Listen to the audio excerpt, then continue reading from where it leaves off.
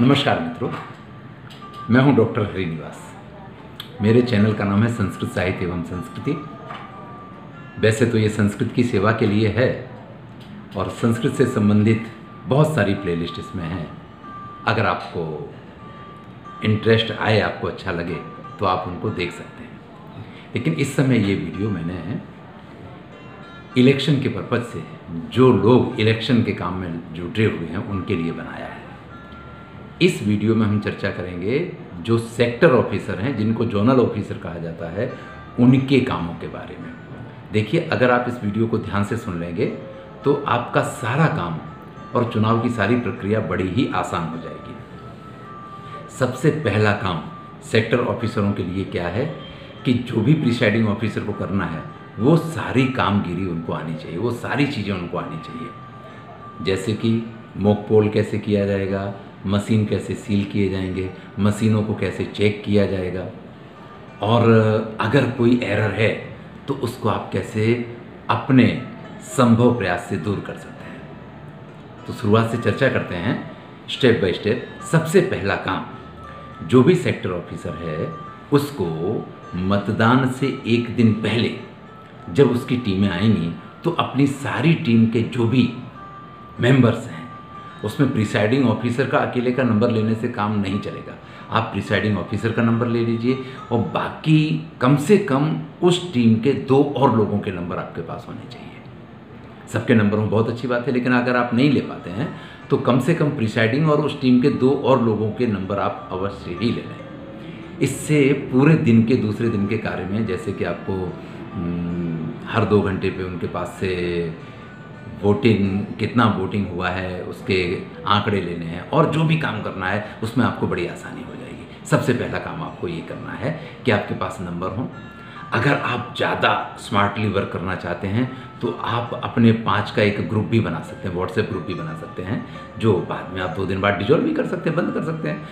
लेकिन अगर ये संभव नहीं है, आपको लगता है कि ये तो क्या सिरदर्दी वाला काम है तो आपके पास नंबर होने चाहिए। और उन नंबर को मोबाइल में अकेला सेव ना करें, डायरी पे लिख लें। आपके पास हो सकता है दस टीमें हो तो तीस नंबर आपको लिखने हैं। ग्यारह टीम हो तो आपको जितनी भी टीमें हों तीन तीन नंबर लिख लीजिए। हर टीम का प्रिसाइडिंग ऑफिसर, असिस्टेंट प्रिसाइडिंग और कम से कम एक का और नंबर आपके पास होना चाहिए। अब जैसे आपकी टीमें तैयार हो गई, सब टीमें अपना सामान लेने जाएँगी, लेकिन जब वो सामान लेने जाएँ तो उनको आप अपनी सिरदर्दी से बचने के लिए एक बात बड़ा क्लियर समझा दीजिए कि भाई, जो आपको मशीनें दी जा रही हैं, तीन चीज़ B U C U V V PAT. अब बी यू तो अगर ज़्यादा संख्या है तो ज़्यादा भी हो सकते हैं, लेकिन जो भी मशीन आपको एक, दो, तीन, यानी बैलेट यूनिट, कंट्रोल यूनिट और वी पैट दिया जा रहा है, उन तीनों मशीनों पे आपके ही मतदान केंद्र का नंबर है। आपके ही मतदान मथक का नंबर है। इस चीज़ को बराबर चेक कर लीजिए और उस पर सिक्का वगैरह लगा है, इस चीज़ को कंफर्म कर लीजिए। ये चीज़ कंफर्म हो गई तो फिर बहुत सारी समस्याएँ कि बाद में दौड़ धाम करनी पड़े, वो नहीं रहेंगी। और वो चेक करने के लिए उस पर जो एड्रेस टैग लगा होता है, उसके ऊपर आपके मतदान केंद्र का नंबर होगा। जब आप वो चेक करेंगे तो उसमें आपको ये भी मालूम पड़ जाएगा कि ये सील है या नहीं है। उस पर रिटर्निंग ऑफिसर का सिक्का है या नहीं, वो भी देखने को मिल जाएगा। तो इस प्रकार से सबसे पहला काम ये करना है कि जो भी साधन सबसे महत्वपूर्ण है, यानी जो मशीन है, उनका बराबर उनकी नंबरिंग हुई है, जो मतदान केंद्र आपका है, उसको चेक कर लेना है। इसके बाद अगर सब लोग एकत्रित हो गए हैं तो कोशिश कीजिए, अगर जल्दी हो जाए आपकी तैयारी तो आप सबको बिठा करके एक मीटिंग छोटी सी ले लीजिए और उस मीटिंग में उनको सारी सूचनाएँ दे दीजिए। उन सूचनाओं में जो सूचनाएँ आपने ट्रेनिंग के दरमियान सुनी होंगी, वही सूचनाएँ देनी है। लेकिन आप लिख लीजिए अगर आपको ज़रूरत है तो कि आपको पाँच सूचनाएँ उनको देनी है, सबसे महत्वपूर्ण पाँच सूचनाएँ देनी है। एक सूचना ये है कि वो अपने केंद्र पे आपके साथ या जो वाहन गवर्नमेंट ने तय किया है, उसी वाहन में बैठ के जाएँ। अपने वाहन का उपयोग ना करें, क्योंकि ऐसी स्थिति में कुछ भी गड़बड़ होता है तो सारी जवाबदारी सेक्टर ऑफिसर के सिर पे आ जाती है रूट सुपरवाइजर के सिर पे आ जाती है। तो अब किसी को भी, अगर उसको अपने वाहन से जाना है तो खुद भले जाए, लेकिन साधन सामग्री जो है, वो अपने पर्सनल वाहन में रख के ना ले जाए। सबसे पहली सूचना देनी ये बड़ी ज़रूरी है, क्योंकि आजकल क्या है कि सभी के पास अपने अपने खुद के वाहन होते हैं और वो भी टू व्हीलर की जगह लोग फोर व्हीलर सबके पास आ गए हैं। ऐसे में सबको ऐसा लगता है कि मैं अपने वाहन में रख के जल्दी पहुँच सकता हूँ और दूसरे दिन जल्दी मैं सबमिट कर सकता हूँ, लेकिन इस तरह की छूट आपको नहीं देनी चाहिए और उनको समझाना चाहिए कि ऐसा आपको नहीं करना चाहिए, नहीं तो ये बहुत ही गलत काम है। दूसरी बात आप उनको बताएँ कि जब वो अपने केंद्र पे पहुँच गए। तो एक बार सारी मशीन के कनेक्शंस करके और उनको प्रॉपरली चेक कर लें, सब कुछ। वीवीपैट बराबर काम कर रहा है सी यू बराबर काम कर रहा है, कोई एरर नहीं है, सब कुछ एक बार अच्छी तरह से चेक कर लें। और फिर उसको डिसकनेक्ट करके रखें। खास याद रखिए कि जब वो वीवीपैट एक जगह से दूसरी जगह उठा के रखें तो पीछे से स्विच ऑफ़ होना चाहिए। यानी वो जो सीधा खड़ा होता है और बैणा किया जाता है। इन चीज़ों का ऑन ऑफ़ का ख्याल रखें। एक जगह से वी पैट हिला के दूसरी जगह पहुंचाना है तो उसको ज़रूर से ऑफ़ करें। ये उनको खास बताइए। दो सूचनाएँ हुई। पहली सूचना क्या थी? कि उनको अपने वाहन का उपयोग नहीं करना है और दूसरी सूचना ये कि केंद्र पे जाकर के, अपने केंद्र पे जाकर के वो सारे मशीनों को अच्छी तरीके से चेक कर लें। तीसरी सूचना आपको मोक पोल के संदर्भ में उनको देनी है कि सुबह, देखिए, इस बार सात बजे से मतदान रखा है। इसका मतलब है कि छः बजे मोक पोल उनको शुरू करना पड़ेगा। अगर आप भाग्यशाली हैं तो आपके यहाँ एक ही बी यूज़ हो, यानी पंद्रह से ज़्यादा कैंडिडेट ना हो, ऐसी आपको शुभेच्छाएँ दे रहा हूँ। लेकिन अगर किसी भी कंडीशन में इससे ज़्यादा कैंडिडेट हो गए मैं तो ये कह रहा हूँ, तीन, चार, पाँच, सात ही होने चाहिए। अगर इससे ज़्यादा हो गए तो भी समस्या है, क्योंकि प्रत्येक कैंडिडेट को तीन तीन मत दे के देखने हैं। यानी पंद्रह नोटा है तो नोटा को भी तीन मत देने हैं।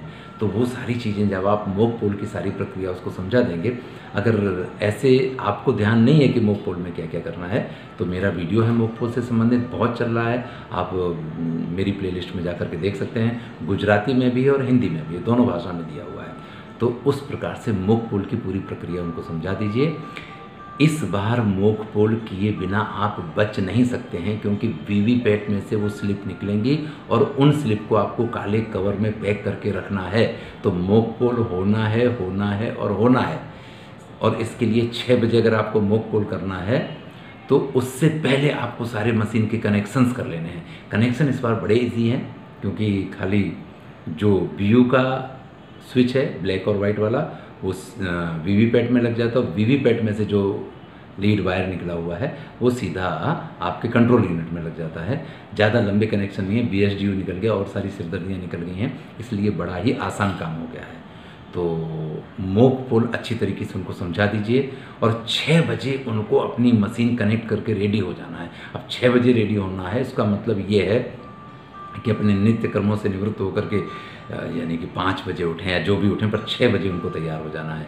खास करके जो आपके पोलिंग ऑफिसर महिला पोलिंग ऑफिसर होंगे, जो संभवतः शाम को आपसे ये कहेंगी कि हम अपने घर जा रहे हैं तो उनसे आपको ये कहना पड़ेगा कि आप दुनिया के किसी भी कोने में हों, लेकिन सुबह पौने छः बजे या साढ़े पाँच बजे आपको यहाँ पे पहुँच जाना है। पौने छः बजे से लेट अगर आप रिपोर्टिंग करेंगे तो आपकी रिपोर्टिंग हम अपने एओ से करेंगे, ये आप उनसे क्लियर कह दीजिए। मूक पोल की प्रक्रिया के बाद तीसरी बात जो आपको अपने टीम को बतानी है, वो सीलिंग की प्रक्रिया है। सीलिंग की प्रक्रिया उनको प्रॉपर आनी चाहिए कि ग्रीन पेपर सील कैसे लगाना है, उसके पीछे एजेंट की सिग्नेचर करवानी है, उसके ऊपर उनका सिक्का लगाना है, ये सारी चीज़ें। अगर किसी को नहीं मालूम पड़ रहा है तो आप सिंपल कोई एक पेपर ले लीजिए और उसको एक साइड मार्कर से किसी चीज़ से या पेन से निशान मार दीजिए और जो साइड निशान मारा है, वो मान लीजिए कि ये क्या है, ग्रीन कलर है।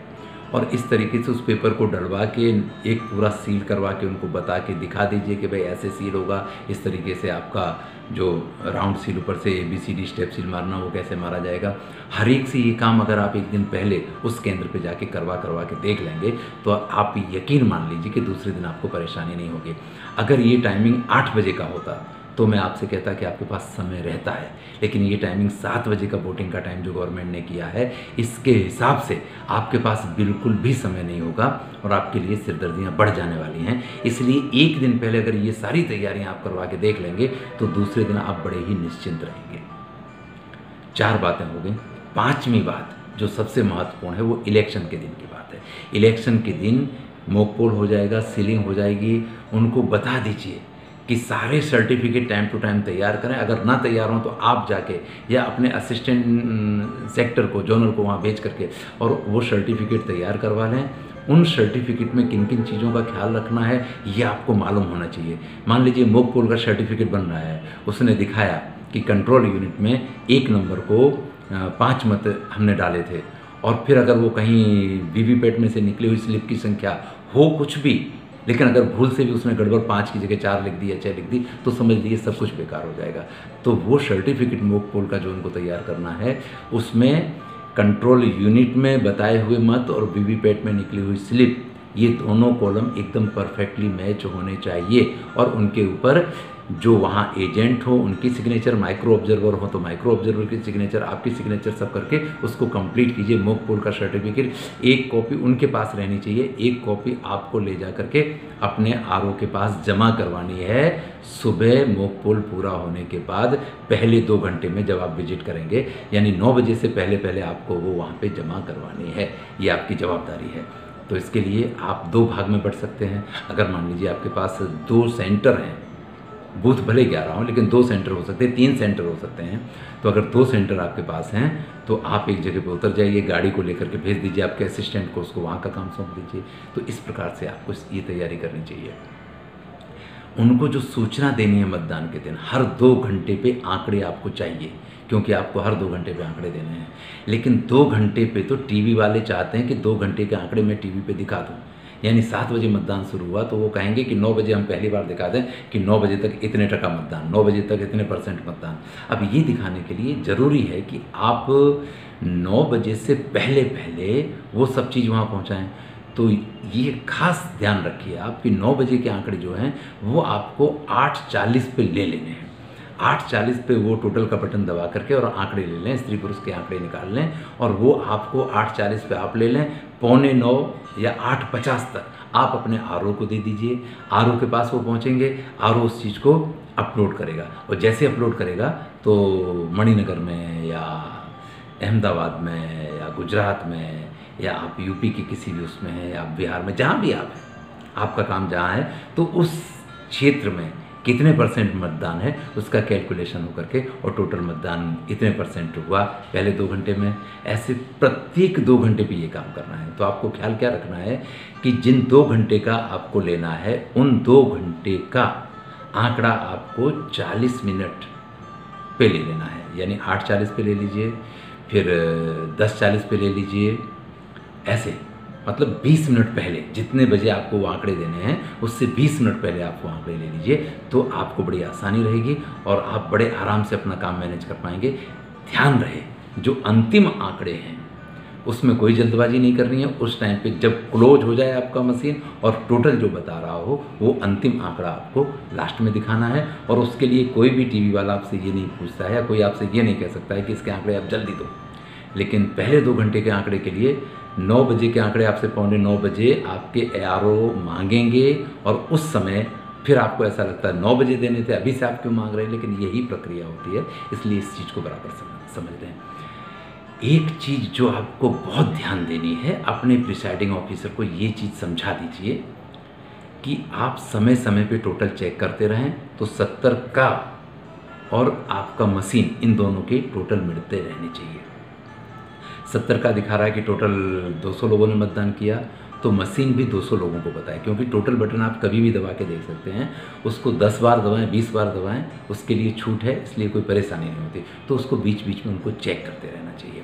और शाम को मैं आपको बड़ा ही सरल प्रक्रिया बता रहा हूँ, क्योंकि ये मैं करवाता रहता हूँ, सत्तर गा में जो हिसाब करना होता है कि भाई इतने स्त्री मतदाता, इतने पुरुष मतदाता, इनका टोटल इतना टोटल इतने मतदाता थे इस पर और इसमें से इन्होंने मतदान किया। ये इतने परसेंट हुआ। ये सारी चीज़ें दो जगह लिखी जाती हैं। एक प्रिसाइडिंग ऑफिसर की डायरी में लिखी जाती है और एक सत्तर ग में, सेवनटीन गा जो होता है, उसमें वो लिखी जाती है। तो इन दोनों को मैच करने के लिए परफेक्टली तैयार करवा लीजिए और इन दोनों चीज़ों की एक एक कॉपी आप उनके पास से ले लीजिए।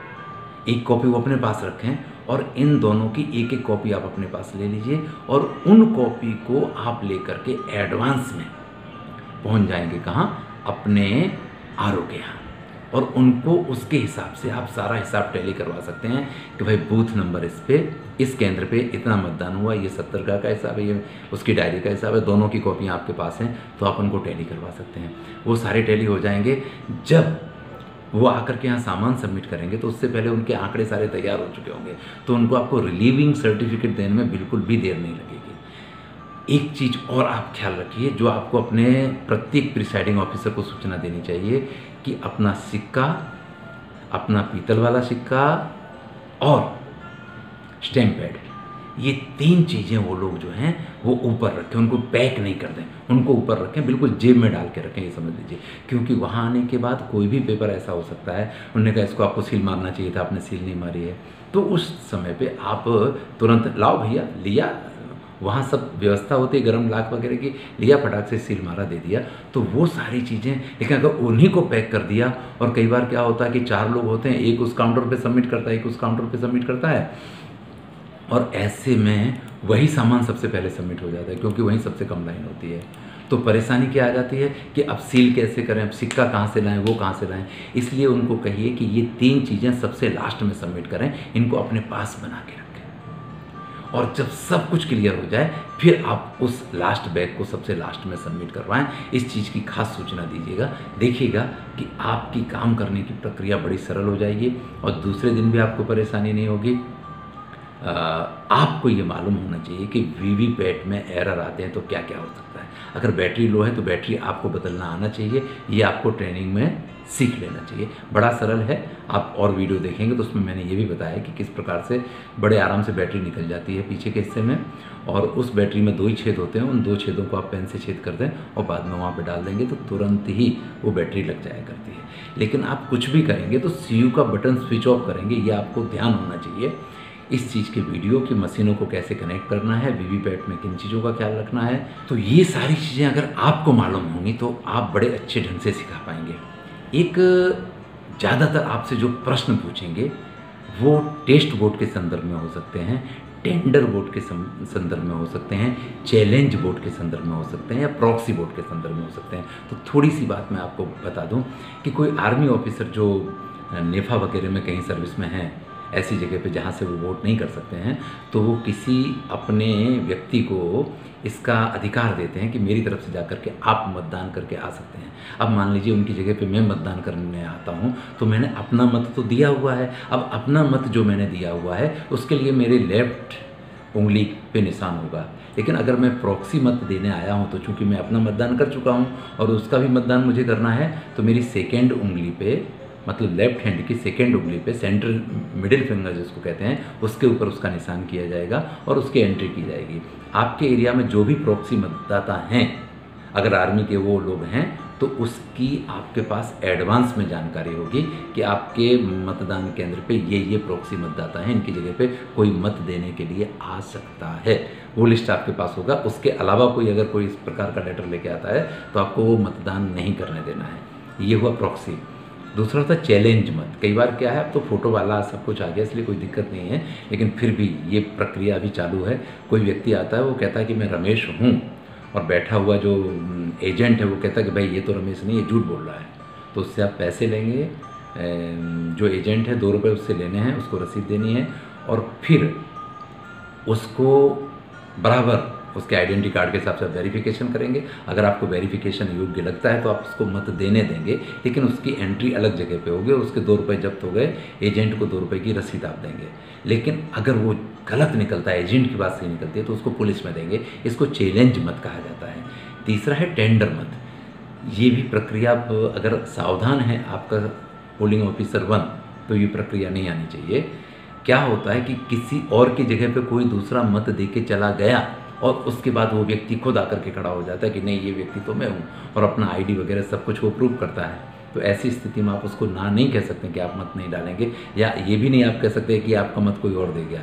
दे गया, आप उसको बताएँगे, भैया, आपका मत कोई और दे गया। तो उसका तो अधिकार जाता नहीं कर सकता ना। उसका अधिकार तो है ना मत देने का। तो ऐसी स्थिति में आपको दस बैलेट पेपर का एक वो दिया गया होगा। उस बैलेट पेपर पे वो मशीन से मतदान नहीं कर पाए, वो बैलेट पेपर लेके जाएगा और उस पर सिक्का मार के उसका मतदान वो करेगा। और इसको हम बोलते हैं टेंडर मत। इसको बोला जाता है टेंडर मत। और टेस्ट वोट वो प्रक्रिया है, जब कोई व्यक्ति ये कहता है कि मैंने मत तो किसी और को दिया था, स्लिप किसी और के नाम की निकली है। इस कंडीशन में जब वो आपसे ये कहता है कि नहीं, मुझे दोबारा वोट देना है, मुझे दोबारा इस चीज़ को देखना है तो आप उससे ये कहेंगे कि भैया बिल्कुल कर सकते हो, लेकिन उसके पास एक फॉर्म आप भरवाएँगे कि अगर आपकी बात गलत निकली तो आपको छः महीने की कैद होगी और आप पे जुर्माना भी होगा। ये दोनों चीज़ें आपके लिए बाहर राह देख रही हैं। अगर वो फिर भी इसके लिए तैयार होता है तो एक, दो, तीन, चार जितने बार वो चाहे अलग अलग लोगों को भी मत दे करके वो टेस्ट वोट के तौर पे ज़रूरी नहीं कि वो एक ही वोट डालेगा। वो एक, दो, तीन, चार वोट डाल के वो इस चीज़ को चेक कर सकता है और जितने वोट ये टेस्ट वोट के रूप में डाले जाएँगे, वो वोट आप उनके एंट्री करेंगे कि इस नंबर से लेके इस नंबर तक के ये वोट टेस्ट वोट के रूप में डाले गए हैं। अगर आपको अच्छा लग रहा है, अगर इससे आपको लाभ हो रहा है तो अपने मित्रों के साथ इसको अवश्य शेयर करें और जितना ज़्यादा लोग इसका लाभ ले पाएँ, उनको इसका लाभ दिलवाइए। धन्यवाद। मैं हूँ डॉक्टर हरिनिवास। और अगर आपको समय मिले तो मेरा चैनल है संस्कृत साहित्य एवं संस्कृति। उस पर वाल्मीकि रामायण है, उस पर महाभारत है, बहुत कुछ उस पर ऐसा है जो आपके लिए बहुत अच्छा है। कालिदास हैं पूरे, उनका विज्ञान शाकुंतल है, बहुत सारी चीज़ें हैं। आप उनका आनंद ले सकते हैं। वहाँ चाणक्य नीति है, वहाँ विदुर नीति है, बहुत सारी ऐसी चीज़ें हैं जो आपके जीवन के लिए बड़ी ही उपयोगी हैं। तो उनका भी आनंद लीजिए। धन्यवाद।